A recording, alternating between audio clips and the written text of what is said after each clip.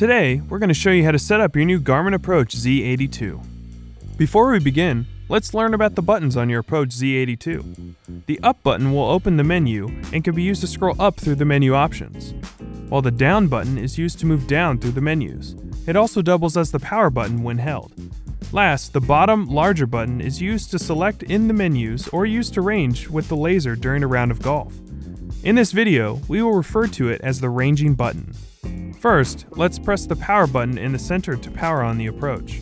Use the up and down buttons to scroll through the language options. To select your language preference, press the ranging button. Select your desired distance measurement. Set your driver distance. The next two screens are tutorial pages that show how to use the Z82 on the course. The first shows how to focus the eyepiece using the diopter measurement. We recommend doing this outside while looking at an object 10 yards or more away. You can adjust it on the golf course at any time. Press any button to proceed. The last screen shows how to lock the Z82 onto a flag.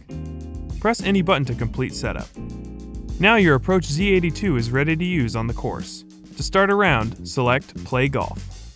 Once setup is completed, we recommend fully charging your Z82 before playing around a round of golf. Additionally, you may want to pair your approach with the Garmin Golf app.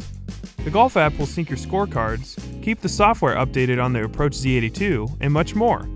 To do this, you will need your Approach Z82 and your smartphone. For this video, we will be using an iPhone, but the process is similar on an Android phone or tablet. First, you will need to download the Garmin Golf app. Begin by navigating to the App Store. Then search for Garmin Golf.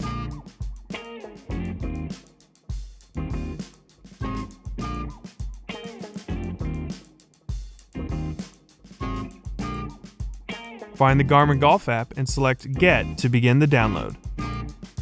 Once the download is complete, launch the Garmin Golf app by selecting Open.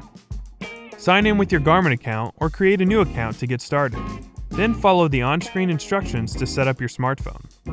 If the device list does not open automatically, touch More at the bottom of the screen to open the setting menu. If you're using an Android smartphone, touch the three bars at the top of the screen. Touch Garmin Devices from the menu. Then touch Add Device and select the Approach Z82 from the list. On your Approach Z82's main menu, scroll down and select Settings. Select Bluetooth and Pair. Now that your approach is ready to pair, touch Start on the Garmin Golf app.